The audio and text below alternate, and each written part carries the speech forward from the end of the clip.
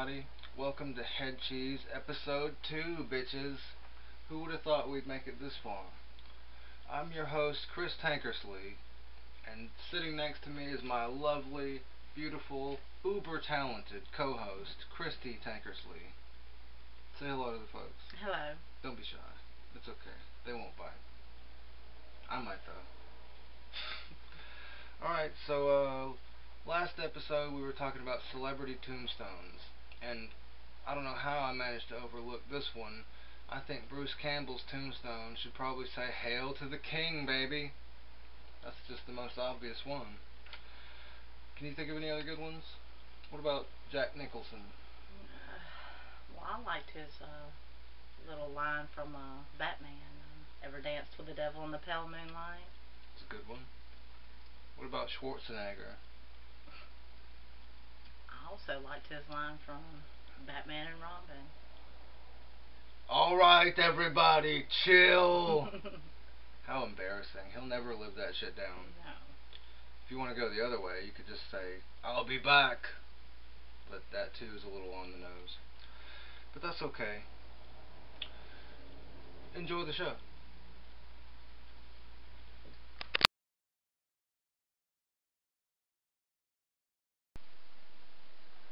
My name's Bubba. My friends call me Leatherface. I like power tools and uh, stitching together masks of human flesh. Uh, I guess I'm just looking for the kind of girl I can eat. Uh, I mean, uh, go go out to eat with, and uh, yeah, have fun. So give me a call.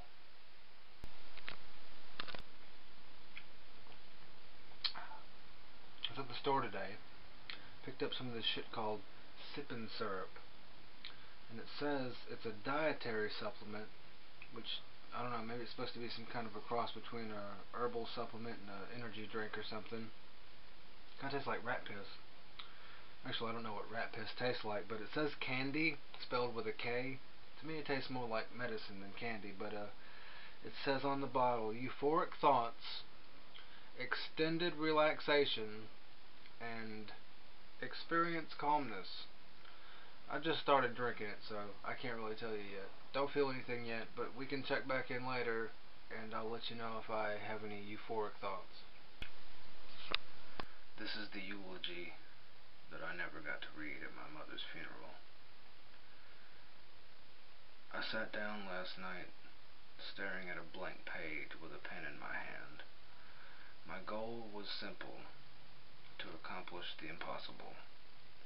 To sum up in a paragraph or two how I feel about the death of the woman who gave me life, who brought me into this world. I'm supposed to neatly condense her life and who she was into a quick synopsis. I began to slowly realize, as I spaced out onto this empty page, exactly why this task before me was beyond my capabilities because I cannot open myself up and show everyone what lurks about inside me, I am limited to using mere words, words that only fall short. Certainly these mere words are far too insufficient to express the sadness in my heart. It occurred to me that if I wrote nothing at all, this page would reflect precisely what exists deep inside of me, nothing but emptiness. Everyone always talks about how shocked they were by the loss of a loved one. People always say how the loved ones that they had were taken away too soon. So I have nothing special or enlightening to offer. No great verbal epiphany or revelation will be made here today. I do believe my mother had plenty of life left in her. I know that she loved her family very much, and as much as I hope and pray that she's finally found the peace that managed to elude her for her entire life. I don't think that she was ready to leave us. I definitely wasn't ready for her to go. Of course, there are no words to describe how I feel, just as there's nothing I can say that will bring her back to us. I can only hope that she is listening from up in heaven, and that she knows how much she will be missed.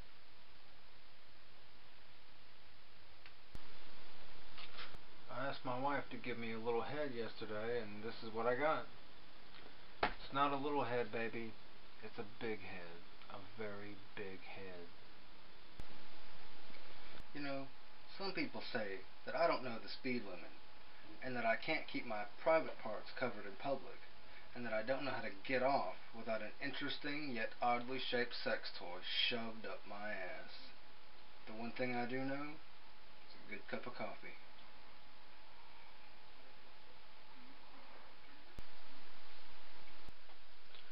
Hi girls, name's Fred. My friends call me Freddy. Don't let the blade scare you, these are just for cocktails. Uh, like this sweater here, my mom gave it to me. It's a little itchy, but it feels good. I like girls with kids. Really into kids. I've done a few things. I have a feeling that uh, they're about to catch up with me. So give me a call pretty soon. Haven't got much time left. Get on out here, Krueger! Uh-oh. I gotta go.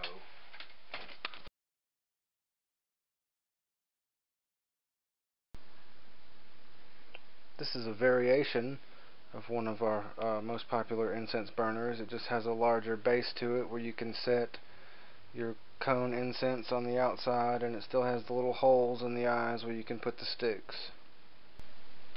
This is a picture of a logo I just got finished coloring for my buddy Ken Sagos. You can reach him at thesagoscompany.com.